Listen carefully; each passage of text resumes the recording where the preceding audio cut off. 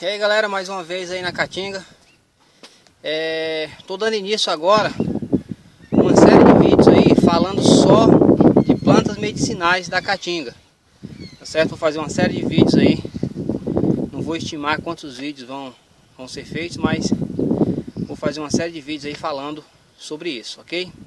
Porque na minha opinião, assim, como mateiro A gente precisa conhecer a medicina que a teu bioma te oferece. Okay? No meu caso a caatinga. Então vou falar um pouco para vocês aí da caatinga medicinal, ok? Bom, como eu falei para vocês aí, vou iniciar essa série de vídeos aí falando do jucá, que é uma árvore que tem bastante propriedades medicinais, muito utilizado ainda hoje na caatinga pelos nativos, ok?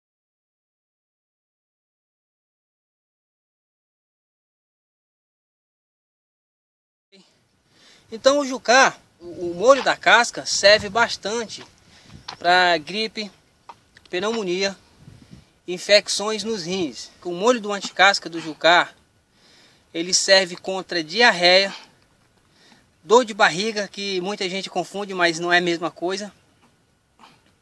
É, pneumonia também serve como expectorante, catarro, como dizem. O chá da, da, da fruta que a fruta é esse daqui, ó. A basezinha. Você quebrar aqui. É esse daqui, ó. Esse, esse aqui é o, é o carocinho da, da árvore, certo? E o chá da, da em si, certo? Ele é usado também contra febre, inflamações em geral, tá certo? Então, é essa é mais uma árvore que pode ser usado na sobrevivência do homem do campo aí, da caatinga, ok? Então, galera, é, o, todo medicamento ele tem contraindicações, tá certo? A medicina natural, ela também tem sua contraindicação, porque ela também pode causar intoxicação. Então, todo, todo processo tem que ser acompanhado ou por alguém que entende de medicina natural ou um médico especializado, ok? Então galera, é isso daí, espero que tenham gostado do vídeo, aguardem que vem mais ainda, tá certo?